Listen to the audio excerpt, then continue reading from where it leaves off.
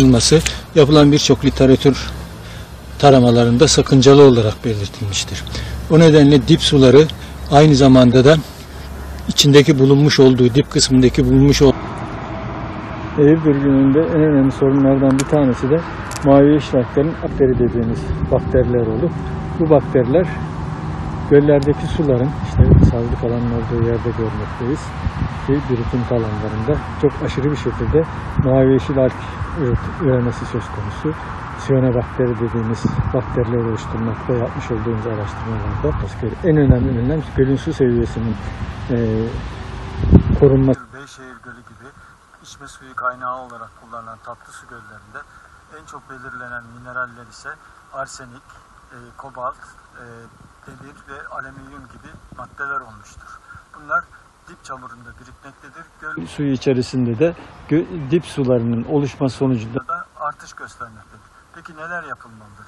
Mutlak suretle göllerin dip çamuru İzmir Körfezi, Haliç Körfezi'nde olduğu gibi bilimsel yöntemlerle temizlenmelidir. Bunun yanı sıra göllerdeki su seviyesi bilimsel olarak 12 e, metrenin altına düşürülmemelidir. Bilhassa doğal göllerde güneş ışınlarının dip kısmına etki etmemesi açısından. Ayrıca göllerin biyolojik çeşitliliği korunmalıdır. Su canlıları göllerdeki suyun temizlenmesinde en önemli unsurlardan bir tanesi olmuştur. Aşırı çoğalma gösteren siyanobakterler aynı zamanda su canlılarının başta balıklar olmak üzere onların da ölümlerine neden olduğu bilinmektedir. O nedenle güneş ışınlarının dip kısma ulaşmasının engellenmesinin tek yolu e, göl su seviyelerinin korunmasıdır. Ve yine bunun yanı sıra göllerdeki bulunan biyolojik çeşitliliğin mutlak suretle korunması. gerekir. Çünkü gölün Biyolojik çeşitliliği ve doğal canlılarını koruduğumuz zaman göl zaten kendi kendini temizlemiş olacaktır. Mavi yeşil alglerin aşırı artışının yanı sıra başka bir ifadeyle alg patlamasının yanı sıra e, göllerdeki bulunan diğer önemli sorunlardan bir tanesi, göletlerde de aynı sorunlar söz konusudur. Göllerin dip kısmındaki bulunan çamurda ve yine göllerin doğal yapısına olan kayaçlardaki mineral maddelerin çözülmesidir. Sular azaldıkça bu mineral maddelerin miktarı aşırı oranda artmaktadır.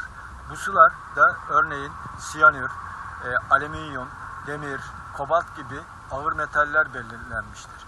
Eğirdir Gölü'nde 2000 yılındaki yapılan bu çalışmalardaki e, sonuçlar e, bildirilmesine rağmen göl dip çamuruyla ilgili herhangi bir çalışmanın yapılmaması da üzüntü vericidir. Mineral maddelerin çözülmesi sonucunda sulardaki artan e, mineral oranları yine suyun dördüncü sınıf su olmasına neden olmakta ve bu tür suların tarımda dahi kullanılmaması önerilmekte.